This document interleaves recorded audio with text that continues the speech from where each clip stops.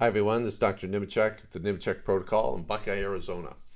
And I want to talk to you about uh, this is the fourth in a series of determining maybe why your child isn't uh, recovering the way you had hoped or envisioned.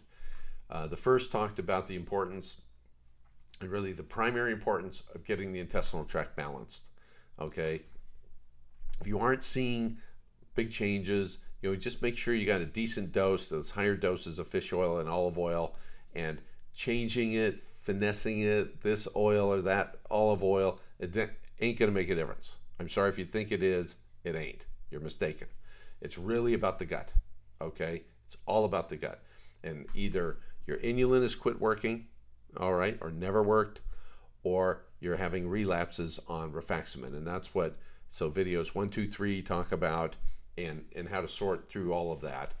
Uh, this video is not so much about why your kid is not getting better, it's why not why everything's not getting better. Okay, so if you get fish oil and olive oil and the gut's balanced, you're going to have a lot of recovery. You know, boy, it's great, and the teachers or the therapists, and people are noticing, and relatives, they haven't seen your kid in a while, they come over, they're like, oh my gosh, we can't believe it. But you're still looking at some things, and there, there might be one or two things that are kind of stuck. Even though a whole bunch of things are getting better, maybe um, constipation just hasn't improved at all, or the hyperactivity, or uh, you know, in spite of speech is coming along and everything, the socialization is just stuck. So, you know, all the kids have gut balance, fish oil, and olive oil. And in many kids, that's all you need to get full recovery. Okay. Now, albeit it's going to be slower than you want, you can't speed it up. There's no way to speed up recovery. The body has one speed. That's it. Okay. So you just got to learn to be patient as long as everything is marching forward. But say socialization is completely not progressive. Okay. In spite of everything else getting better. This is when we use vagal neuromodulation. And uh, vagus neuromodulators are devices that we uh, dispense out of the office that can attach to the ear.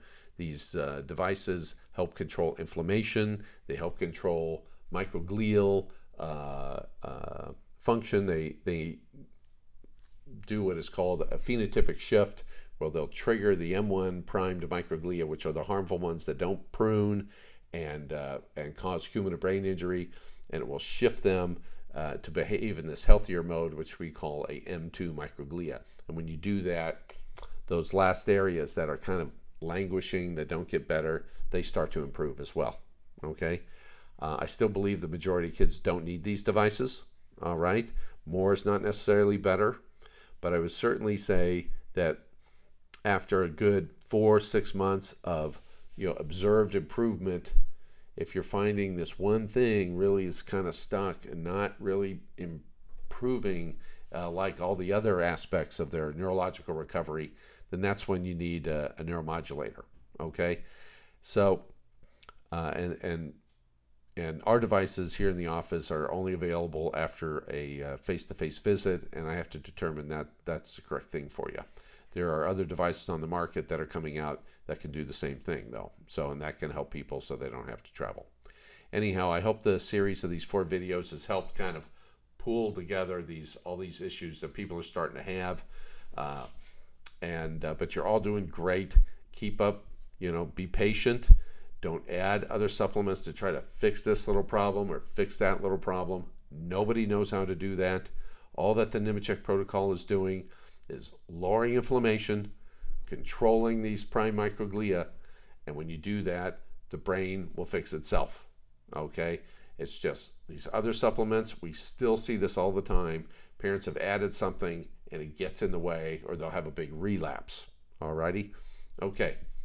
So hang in there, stick to the protocol, be disciplined, don't miss a dose, and enjoy the show. Your kids are going to recover and it's a beautiful, beautiful thing. This is Dr. Nemechek of the Nemechek Protocol, Buckeye, Arizona. God bless you all. Take care.